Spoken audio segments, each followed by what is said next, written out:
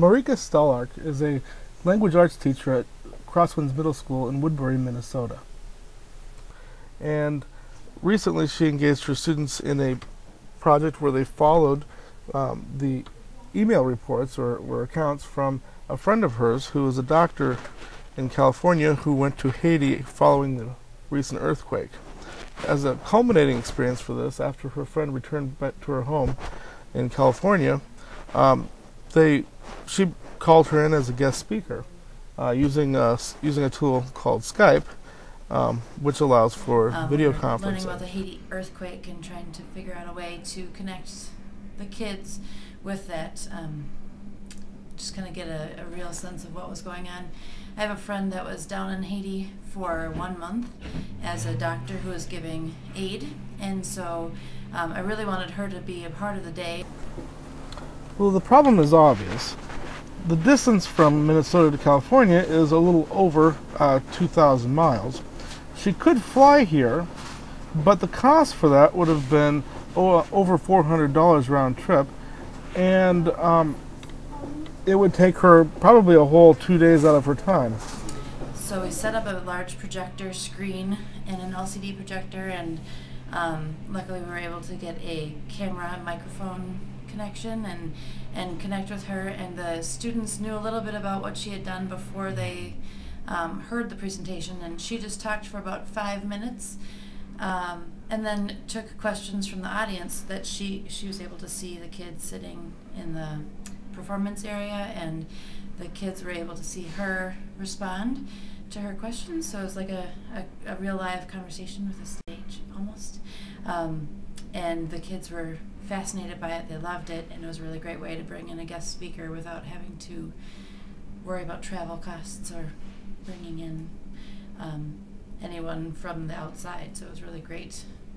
Um, she was able to do it from her bedroom. Skype is free to download and use as long as you're um, making calls from um, Skype user to Skype user, and that goes for anywhere in the world. So, if you had, let's say, someone in Australia and you were in in uh, California or, or or North Dakota or wherever, um, you could connect and talk and and have a video conference um, online for free.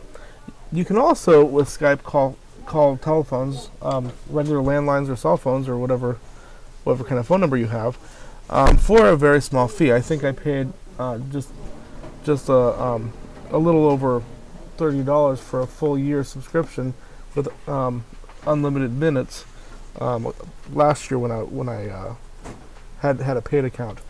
Um, and so you get you can basically free long distance to almost almost anywhere in the world. Um, so what what you would need to do if you wanted to, if you wanted Skype would be to go to Skype.com and download Skype. When you download it, um, you you get a little program that will allow you to connect.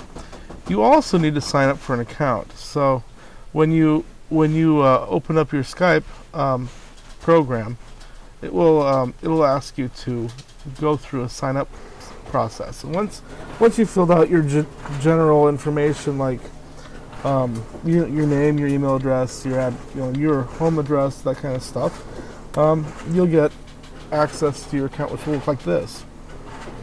And the way you navigate Skype is on the uh, on the left here. You'll have your own little picture icon, which you can upload. Um, I use this little painting of myself with a fish. Um, you can add contacts to, to your list here. So these are all these are all people that I contact, and you can tell if you, these uh, these people are online because they'll have a little green check mark next to them. If it's a regular phone number, it'll show up with a little telephone. And if it's if the the person's not at their computer, or they don't have Skype open on their computer, you'll see the little gray X next to them. And so you can you can do this in a, a few ways. You can go to the directory, and you can find people either by their full name or their Skype name or their email address. Um, just the other day, I needed to uh, have a um, a conversation from our middle school in Woodbury to um, our district office in Maplewood, and uh, I didn't I didn't know uh, um, the, I didn't know the Skype address that I needed, but I knew the person's email address, so I just put the email address in here, and it it, it located them for me.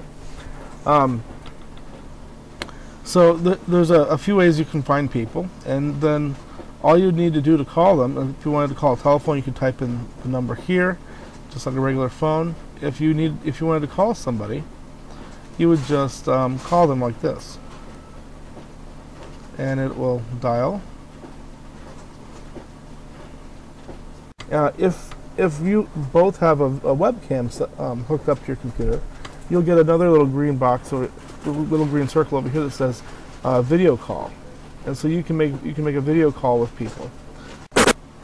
And by no means is Skype the only tool out there that you can use this. You can use for video conferencing, or to bring in guest speakers into your classroom, or uh, just for everyday communications.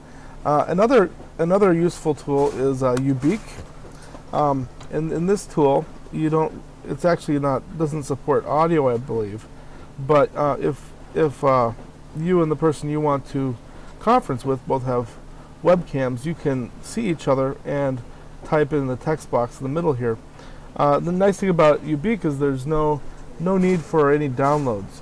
Uh, if if you have if you if you open this up, it will uh, generate a a unique URL that you can copy in, in an email or message to send to the person that you're going to have a conference with.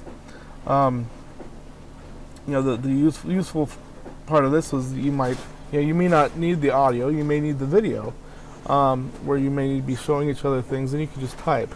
Um, but this is al- this is really great also on um, classroom machines that maybe uh, you don't have administrative privileges to down, download and install stuff on.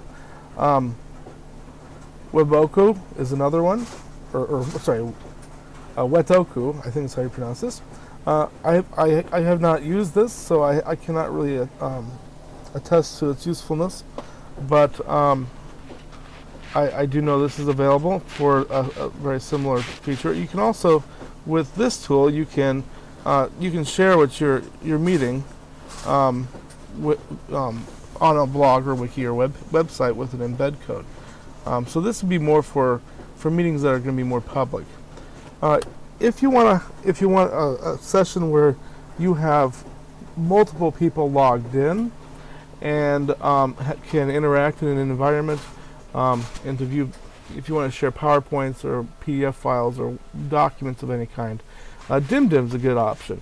Um, there's a whole there's a whole bunch of uses for these tools in your classroom, and I, I know you can probably imagine, um, you know, people you can bring in, um, whether they're authors that, that your kids are, are reading, or artists they're studying, or um, historical figures that uh, are still living, um, or experts in any given field.